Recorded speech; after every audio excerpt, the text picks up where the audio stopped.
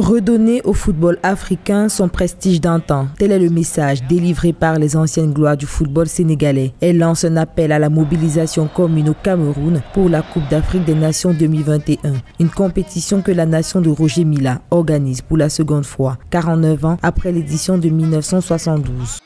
C'est très important aujourd'hui de connaître des grands noms euh, qui sortent de ce football africain-là et qu'on ait, aussi des championnats euh, respectables, des championnats de très haut niveau.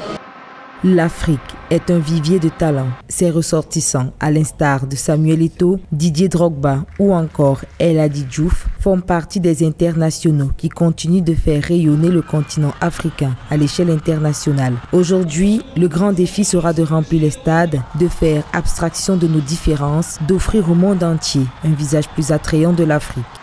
Le Cameroun est une grande nation du football. Donc aujourd'hui, voir le Cameroun euh, aujourd'hui organiser cette canne est, significatif. Donc aujourd'hui, euh, on est content d'être là en espérant d'avoir la meilleure organisation possible pour, euh, pour montrer à tout ce monde entier que l'Afrique est capable d'organiser de belles choses. Ouvrir ses portes au monde en pleine pandémie de Covid-19, c'est donc l'objectif du Cameroun. Avec un tirage au sort plus ou moins équilibré, c'est une nouvelle histoire qui va s'écrire du 9 janvier au 6 février 2022. Avec l'appui et l'accompagnement de toutes les nations du continent, cette 33e édition de la Cannes sera une édition spéciale avec des performances inédites et un record en termes de présence.